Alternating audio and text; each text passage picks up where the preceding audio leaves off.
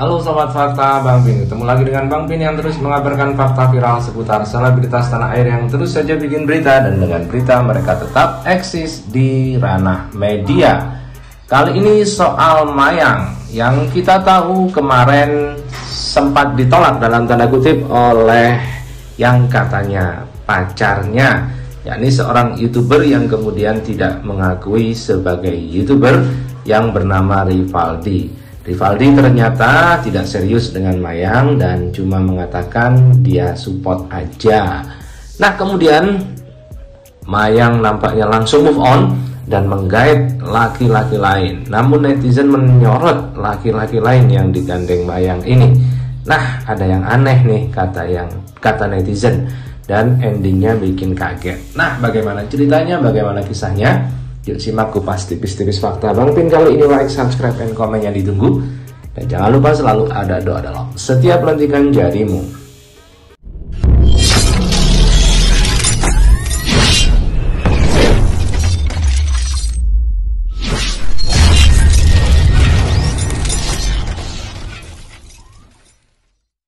Bayang gimana terima 10 jutanya? Ih enak banget parah Keren ya. Keren Tuh, berasa cantik kan? Cantik banget Berapa kerimbatnya? 10 jetol Oh, thank you lah Mayang. Mayang gimana terima 10 jutanya? Ih enak banget parah Keren ya. Tuh, berasa cantik kan? Cantik banget Berapa kerimbatnya? 10 jetol Oh, thank you lah Mayang. Hai netizen nih yang kamu bilang nih jendela jadul jendela jadul ini kaca nako ini tuh kaca nako tuh itu mewah mewah banget dibilang jendela jadul jendela jadul. Bukannya mau rubah ada duit guys. Nah ini adalah sekampung kata kamu ya. Eh ini em eman harganya. Kita lansir dari wowkeren.com Mayang joget TikTok bareng cowok tampan Usai ditolak Rivaldi Endingnya bikin kaget. Pria yang diisukan sebagai pacar baru Mayang, Rivaldi, sempat buka suara. Ditegaskan Rivaldi, ia dan Mayang hanya dekat dan belum ada rencana serius. Kalau untuk ke yang lebih serius, masih jauh lah ya, seru Rivaldi. Mayang juga masih sekolah, saya juga masih mau kuliah buat persiapan kuliah. Rivaldi juga mengatakan bahwa selama ini dia bukan youtuber dan mengatakan cuma saling support aja dengan Mayang. Setelah penuturan Rivaldi itu viral, Mayang kembali jadi sorotan. Adik Vanessa Angel itu justru terciduk asik joget TikTok bersama sosok cowok tampan. Seperti biasa, video Mayang bersama sosok pria tampan itu ramai diperbincangkan.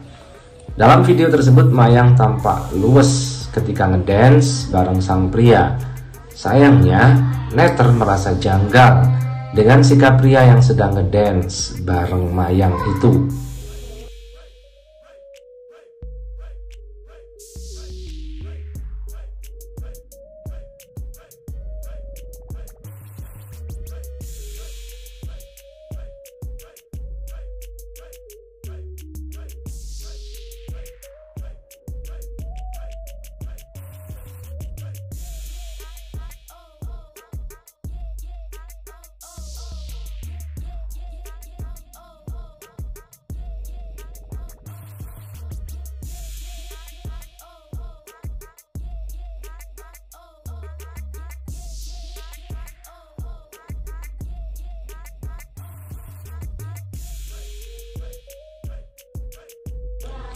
Yang cowok kok lentur banget ya daripada Mayang. WK WK WK tutur netter. Emang lentur shy, alisnya aja disulang. Cekak aja video TikToknya sendiri, seru netter. Hmm, kemayu ya lakinya, ujar netter. Setelah kehebohan itu sosok pria tampan yang terus dicibir netter tersebut buka suara. Tak disangka pria yang joget bersama Mayang itu adalah hair stylist yang bernama Marvin. Menanggapi berita seputar dirinya yang dikira sebagai kekasih, Mar Marvin malah santai. Ia cuma bisa tertawa saat video bersama Mayang ramai dibahas di akun gosip. Di sisi lain, Mayang baru-baru ini juga sempat mengungkap niatnya collab bareng Iqbal Ramadan. Mayang tak menampik kalau ia kesengsem pada sosok Iqbal. Masih soal Mayang, adik Vanessa Angel ini juga bikin geger soal video endorse krim bat 10 juta di Salon Sultan. Ia disindir halu hingga ngibul lantaran netter menilai tidak ada perubahan pada rambutnya.